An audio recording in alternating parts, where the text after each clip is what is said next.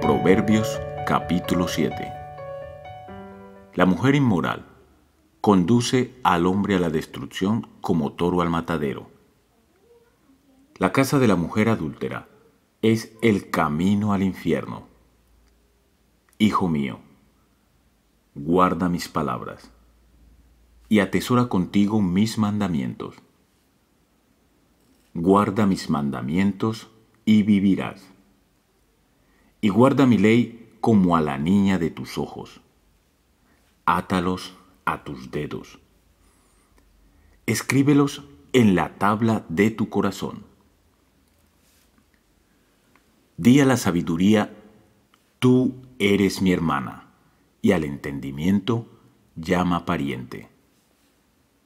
Para que te guarden de la mujer ajena, de la extraña que halaga con sus palabras porque mirando yo por la ventana de mi casa, a través de mi celosía, vi entre los ingenuos, distinguí entre los jóvenes a un joven falto de entendimiento.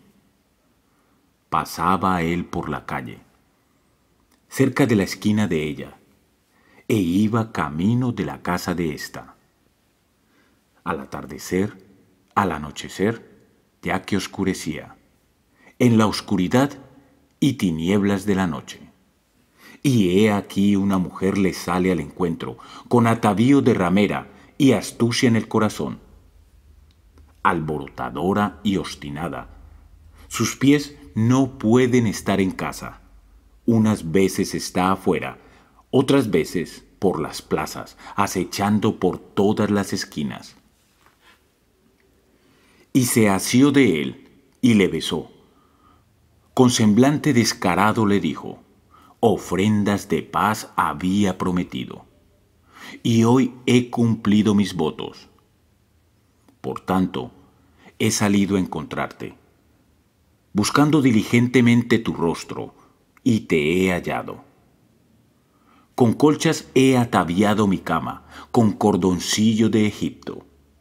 He perfumado mi lecho con mirra, aloes y canela Ven, embriaguémonos de amores hasta la mañana, alegrémonos en amores, porque el marido no está en casa, se ha ido a un largo viaje. La bolsa del dinero se llevó en la mano.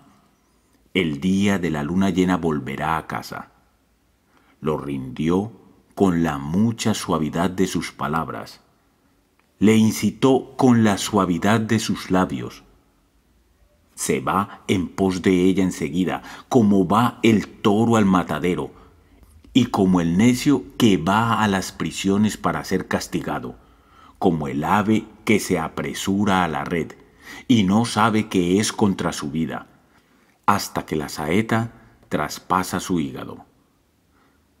Ahora pues, hijos, escuchadme y estad atentos a las palabras de mi boca no se desvíe tu corazón a los caminos de ella, no yerres en sus veredas, porque a muchos ha hecho caer heridos, y aún muchos poderosos han sido muertos por ella. Camino del Seol es su casa, que desciende a las cámaras de la muerte.